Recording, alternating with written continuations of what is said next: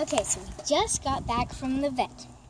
And they said to come back in a few weeks, but they said from what they could see, they were all girls. It's a little beauty mark girl. She's a girl. Little Hawaiian Islands, you guys have probably seen them. They're kind of far away. Blackback girls. Um, Bella back there, obviously, girl. Let's see. So, they said it would be uncommon for them all to be girls, but it's possible They for them it's all to be girls. They said it's not not possible, but they said it was uncommon. So, that's what they said for today, and we'll come back in a few weeks and we'll figure it out. I guess 100% before they go to their real homes, Yep. or at least 99%. Okay. Or See else, ya. if we really don't, then we're just gonna say, be careful, don't put them together.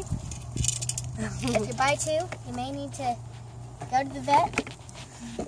Because if they still don't know, then we're just gonna have to say that because we can't do it. Hmm. no more vet trips.